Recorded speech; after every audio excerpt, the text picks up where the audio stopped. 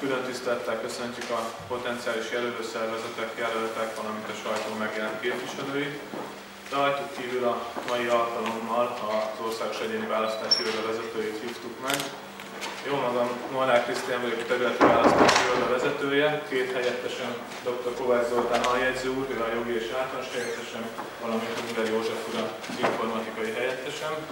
Az asztalnál helyet foglal még Ediskáné Dolci és Tortné Szövekerik a kolléganőm, is régi területi választási iroda munkatársak, valamint meghívtuk valamennyi OLV székhely választási szakemberét, választási feladatait vezető szakemberét,